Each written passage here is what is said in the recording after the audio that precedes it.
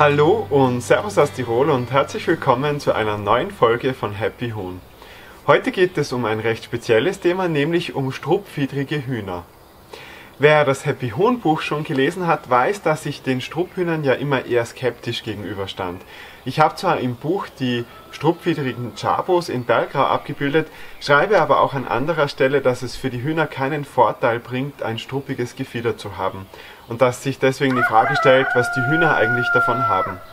Vor kurzem konnte ich mich davon überzeugen, dass auch Strupphühner Happy-Hühner sein können, denn ich war zu Besuch bei der Familie Mitternöckler in Kufstein und ja, dort laufen einige Strupphühner rum und ich würde sagen, schaut euch die Folge einfach an und macht euch selber ein Bild von den lustigen Strupphühnern. Darf ich vorstellen, Frau Strupphuhn sagt Hallo. Das Strupphuhn gibt es offiziell auch als Rasse und hier haben wir ein gelbes Zwergstrupphuhn. Das Gefieder ist wie für Strupphühner üblich recht zerzaust, aber irgendwie scheint auch ein System dahinter zu stecken. An manchen Zonen wirkt es sogar fast normal. Auch andere struppfiedrige Rassen haben einen recht gleichmäßigen Gefiederaufbau trotz Struppfiedrigkeit. Aber was ist das Ganze denn jetzt eigentlich genau? Fragen wir mal die Züchterin. Also eigentlich ist ein Gendefekt. Mhm. Die Federn wachsen da in die verkehrte Richtung. Also die stülpen sich eigentlich nach oben. Wir haben es bei der Struppfiedrigkeit also mit einer Mutation zu tun, und zwar einer dominanten, die dominant gegenüber der Normalfiedrigkeit bzw. Glattfiedrigkeit ist. Strupp- oder auch Lockenhühner kennt man schon seit vielen Jahrhunderten, wahrscheinlich kamen sie aus Asien nach Europa, denn in den asiatischen Ländern findet man Struppfiedrigkeit bei vielerlei Rassen. Im Englischen kennt man Strupphühner auch als Frizzle, recht passend. Hier seht ihr jetzt Baduanerküken und man kann gleich sehen, welche struppfiedrig sind und welche glattfiedrig.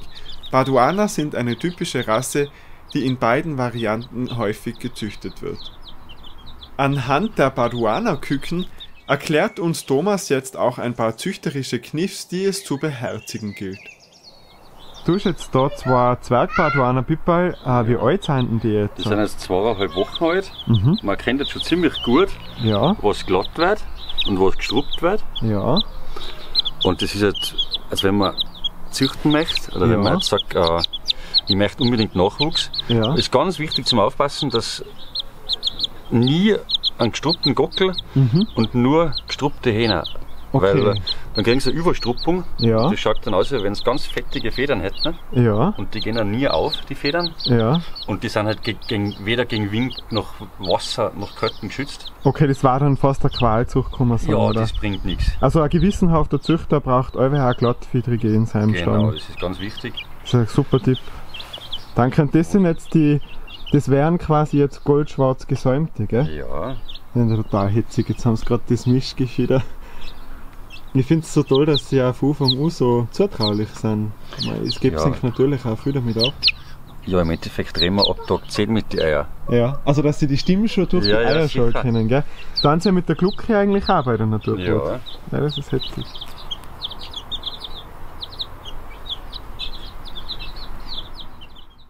Küken sind natürlich immer goldig zu beobachten und das Helle hier sieht ja auch sehr interessant aus. Wär mal gespannt, wie das erwachsen aussieht. Ja, jetzt wissen wir mal, warum in der Truppe glattfiedrige und struppfiedrige gemischt rumlaufen. Schon der jüngste Spross der Familie hat gelernt, Verantwortung gegenüber den Tieren zu übernehmen und kümmert sich begeistert um die Kükenschar, wie ihr sehen könnt. Sind die so zutraulich, ha? Fressen die aus der Hand? Ja. Das ist ja total lieb.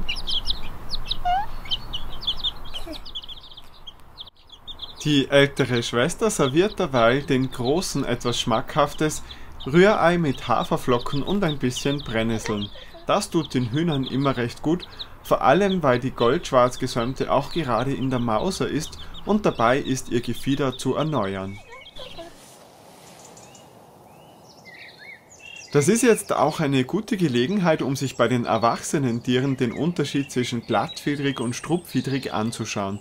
Die schwarze Baduanerhenne in der Mitte ist normal bzw. glattfiedrig und sie wirkt auch deutlich kleiner dadurch, eben weil die Federn viel enger ansitzen.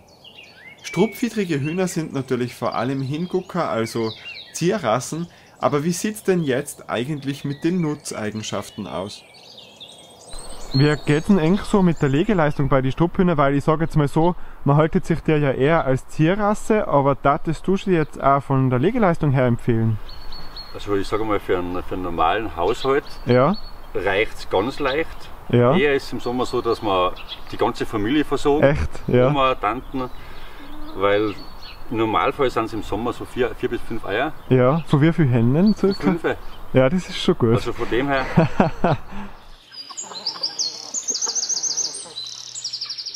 Bisher waren ja hauptsächlich die struppfiedrigen Baduaner zu sehen, schauen wir uns darum jetzt nochmal ein paar andere struppfiedrige Hühnerrassen näher an. Das hier sind gelbe Zwergstrupphühner und die Zwergstrupphühner gelten aktuell als eher junge Rasse. Tatsächlich gibt es zwergige Hühner mit Struppgefieder, aber schon sehr lange, sie wurden nur in Europa wieder neu erzüchtet, weil die Tiere, die einst aus Asien importiert wurden, wieder ausstarben. Bei den asiatischen Rassen ist die Struppfiedrigkeit recht gut verankert, so findet man sie zum Beispiel auch bei den japanischen Chabos regelmäßig. Diese berggrau-weiß getupften Chabos waren schon einmal in einer Folge von Happy Huhn zu sehen und der Züchter hält sie ebenfalls gemischt mit glattfiedrigen Tieren. Bei den Chabos gibt es überhaupt so allerlei Mutationen, was das Gefieder anbelangt, so gäbe es zum Beispiel auch seidenfiedrige Chabos, die ich persönlich jetzt aber noch nie in real gesehen habe. Für alle, die die Chapo-Folge damals verpasst haben, das war übrigens Folge 46 von Happy Huhn, da trefft ihr genau diese Tiere wieder. Ja, jetzt schauen wir uns noch ein paar Kreuzungen an, denn die Struppfiedrigkeit vererbt sich ja dominant und so können euch immer wieder Strupphühner begegnen, die ihr nicht auf den ersten Blick einordnen könnt. Kaum zu glauben, dass hier etwa eine Appenzeller Spitzhauben in der Ahnenliste mit drinnen steckt. Diese Tiere habe ich in einem Zoo mal filmen können, wo einer der Tierpfleger wohl ziemlich experimentierfreudig war. Bei einem anderen Tier sieht man dann sogar noch die Tupfung der Appenzeller. Auch in dieser Zuchtanlage des österreichischen Züchters Manfred Pfeifenberger verbergen sich genetisch sehr interessante Strupphühner, nämlich Kreuzungen aus struppfiedrigen Serama, die als kleinste Hühner der Welt gelten, mit sogenannten Showgirls. Showgirls, das sind nackthalsige Seidenhühner. Wie ihr anhand der beiden struppfiedrigen Hühner gut sehen könnt, haben sich hier jetzt viele Sondermerkmale miteinander kombiniert, befiederte Läufe, nackte Hälse, Struppfiedrigkeit und Mehrzähigkeit. Auch ein interessanter Hahn der hier, der kam durch eine Kreuzung der japanischen Langschwanzrasse Onagadori mit struppfiedrigen Chabos zustande. Ihr seht, struppfiedrige Hühner können viele Gesichter haben. Nun aber nochmal zurück zu den Baduanern. In glattfiedrig waren die nämlich schon mal Thema bei Happy Huhn. Gemeinsam mit der Stefanie habe ich sie euch vorgestellt und ich danke euch auch nochmal für die vielen tollen Rückmeldungen für diese Folge damals. Allen, die durch diese Strupp-Folge jetzt neugierig auf das Baduaner-Huhn geworden sind, möchte ich darum nur aufs Wärmste empfehlen, schaut euch doch mal Folge 74 von Happy Huhn an. Was hier so schön gluckig gackert, ist meine Henne Traudi, die schwelgt momentan im Mutterglück und sie gibt euch schon eine kleine Vorschau auf die nächste Folge von Happy Huhn, die zum Thema haben wird, der Hühnergarten im Mai.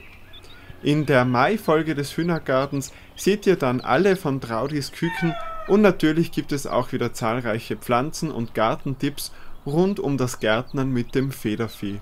Ja, und das hier ist mein Lieblingsküken, ein Steinbibber, das meine Nachbarskinder auf den Namen Robin getauft haben.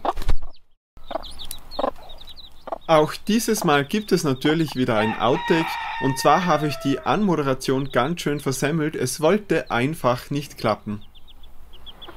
Hallo und Servus. Na. Hallo und herzlich willkommen zu einer neuen Folge von Happy Huhn. Heute bin ich bei der Familie Mitternöckler. Das stimmt, oder? Ja, das Passt. stimmt. Soweit bin ich schon mal gut. Okay. Wir fangen. Hallo und herzlich willkommen zu einer neuen Folge von Happy Huhn. Heute bin ich in meiner Tiroler Heimat im Kufsteiner Land. bei der Familie Mitternöckler zu Gast und die Mitternöckler sind totale Fans von Strupphühnern. Danke, dass ich da sein darf, total lässig und ihr habt hier schon ein paar richtige Prachtstücke auf dem Arm. Ich möchte mal so vorstellen, das ist eine glattfidrige gewesen.